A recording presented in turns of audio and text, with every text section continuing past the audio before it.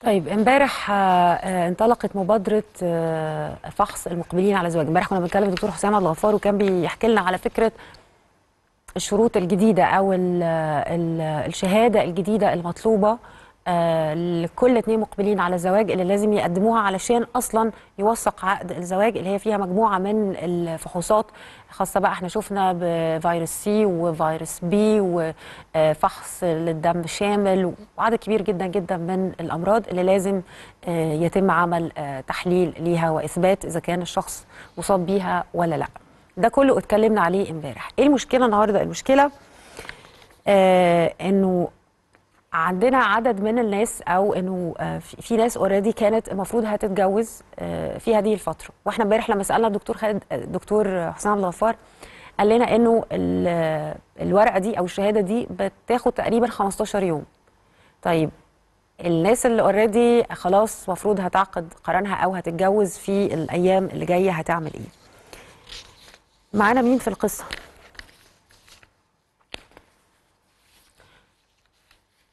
طيب معانا الشيخ إسلام عامر نقيب المأذونين. شيخ إسلام أهلا بحضرتك.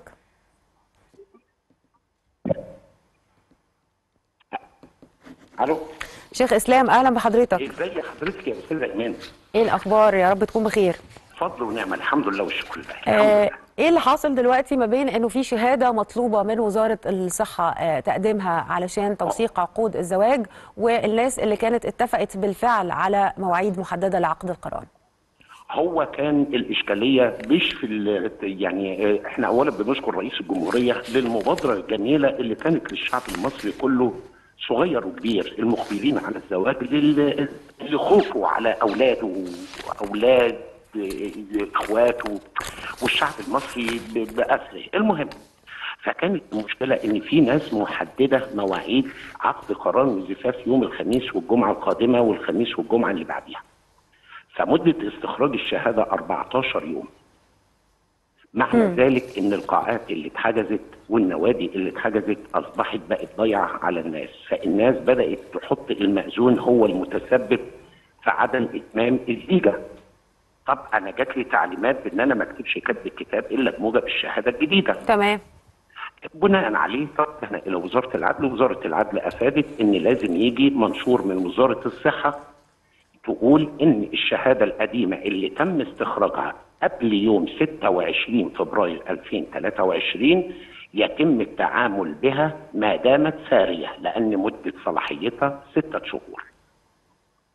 آه يعني المشكلة اتحلت المشكلة اتحلت مفيش ألف أصلاً. بخير وزارة الصحة ويعني أشكر معالي الوزير وأشكر الدكتور حسام عبد الغفار المتحدث الرسمي ان هو عاوننا وساعدنا وأصدر جواب النهارده موجه لمساعد الوزير لشؤون المحاكم بالإفادة أنه يتم العمل بالشهادة الطبية ما دامت أنها سارية. تمام فإذا ما فيش أصلا مشكلة لأنه الشهادة الجديدة لن تعيق الزواج كان, في بس اتحلت سريعاً. ليها وحلها.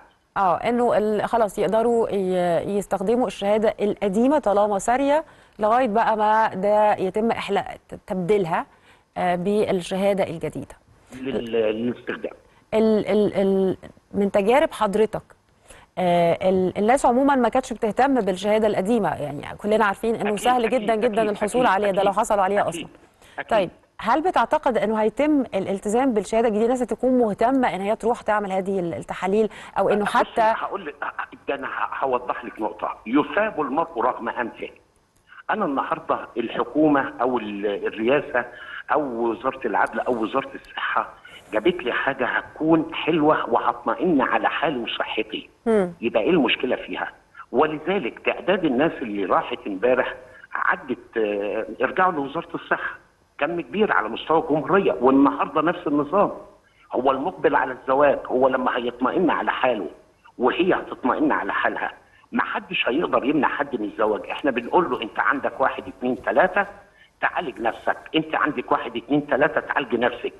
هل لو عنده حاجة هنقدر نمنعه من الزواج؟ وزارة الصحة ولا وزارة العدل؟ يتزوج. بس يبقى عنده علم بما له من أمراض. طيب سؤال بقى لحضرتك برضو بناء على خبرتك. هل بتعتقد إنه شهادة بهذا الشكل ان هي داخلة في في يعني فيها عدد من التحاليل الخاصة تقريبا بأهم ال- الامراض هل تعتقد إنه حاجة بهذا الشكل قد تؤثر على قرارات البعض في إتمام الزواج؟ ولا من خبرة حضرتك إنه طبعا لا؟ طبعا طبعا. أكيد أكيد. يعني أنا آسف يعني أنا لما هاجي اجوز ابني وابني هيطلع مش هيخلف. بنت بنت الناس هتوافق. أنا مش مش عارفة إذا. كان إذا كان آه هي في حاجات عن العقم كمان؟ آه طبعا. عنده سكر عنده أي حاجة. تعبان نفسي أي حاجة. يبقى هنفكر ألف مرة عشان ما يبقاش فيه ارتباط. زوجي يتم نهاية بانفصال. يبقى هتحد من عملية الطلاق. يبقى حتى الأولاد اللي هيجوا من خلال هذه الزيجة يبقى يعني إيه م- مش هيجي عيل معاق.